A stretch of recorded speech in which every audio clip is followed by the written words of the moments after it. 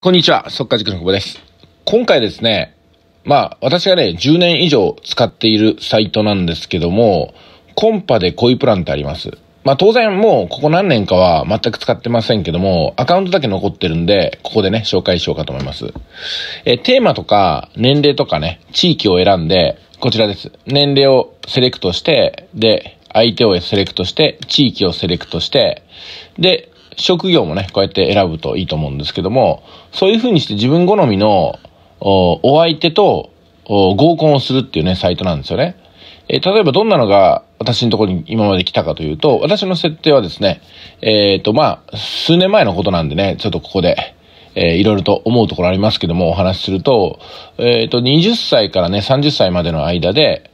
看護職、介護職、保育職というものを選びました。地域は同じ、えー、中国四国なんですよね。まあそうするとですね、例えば3対3とか2対2とかで合コン組みたいなと思ったら、えー、まあそういう人数に設定してメールで、えー、合コンの相手が決まりましたってメールをくださるんですよね。で、そのメールに対して、まあ自分があそのメールから送られてきた簡単なプロフィールを見て合コンしてもいいかなと思ったらその日に、まあ、合コンするって感じになります。もちろんお金もちょっとかかりますけども、でもね、これなかなかね、メール受け取るだけでも、あ、結構マッチングしそうな人っているんだなってことに気づけるんですよ。で、お店の紹介とかもあったりとかね、なかなか面白いですよ。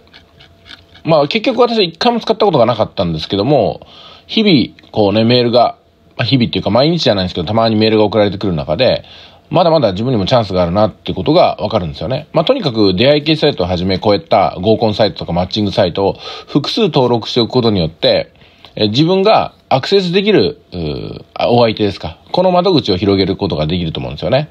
えっ、と、スマホアプリも最近ではありますんで、できましたんで、これね、ぜひね、登録しておくことをお勧めします。まずは無料会員登録でいいと思いますんで、それでメールを受け取りながらね、えー、もし使いやすいなということであれありましたら、有料会員登録に進んでもいいんじゃないかなと。まあ無料でも十分ね、これね、役に立ちますんで、今日は紹介させていただきました。おすすめです。